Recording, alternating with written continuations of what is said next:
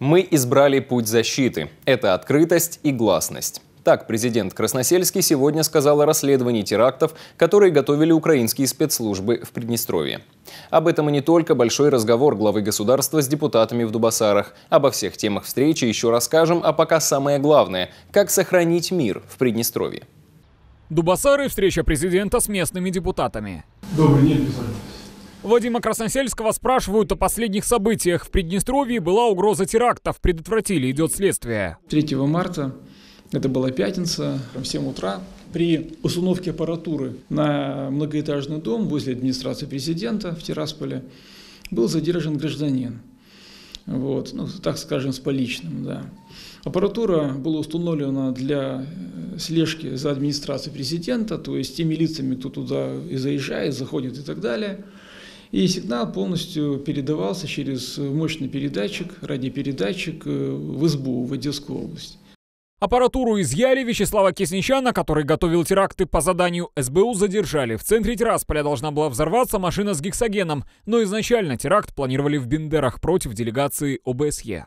Если бы удалось э, взорвать именно миссию ОБСЕ в городе Бендеры, Россию бы обвинили. Поэтому необходимо разрывать соглашение 92 года мирному регулированию. Кстати, в то же самое время, наверное, случайно все, да?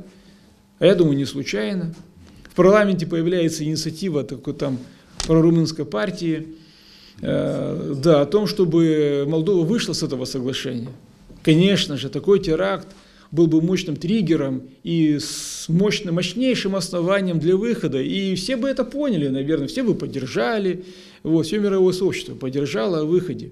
Кроме того, сразу лежал документ о размещении на территории Молдовы так называемой интернациональной полиции и так далее, и так далее.